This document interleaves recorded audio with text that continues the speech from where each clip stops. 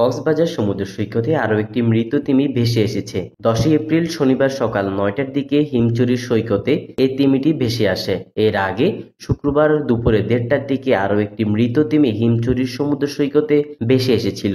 তিমিটি দেখতে ভিড় জমিয়েছেন উৎসুক জনতা। মৃত তিমি মাছে ছবি তুলছেন অনেকেই কক্সবাজার সমুদ্র সম্পদ রক্ষা আন্দোলনের সমন্বয়ক মফিজুর রহমান বলেন, দুইটি কারণে মাছ মারা যায়। প্রথমত, বয়সকাল পার হলে তিমি মারা যেতে পারে। দ্বিতীয়ত, বঙ্গোপসাগরে জাহাজ চলাচলের সময় আঘাতের কারণে তিমিটি মারা যেতে পারে। তিমিটির ওজন আনুমানিক বিশ টনের মতো হবে।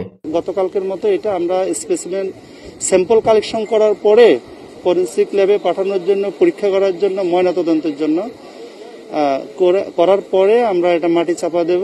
এর আগে উনিশশো ছিয়ানব্বই ও দুই সালে আরও দুইটি মৃত তিমি সৈকতে ভেসে এসেছিল।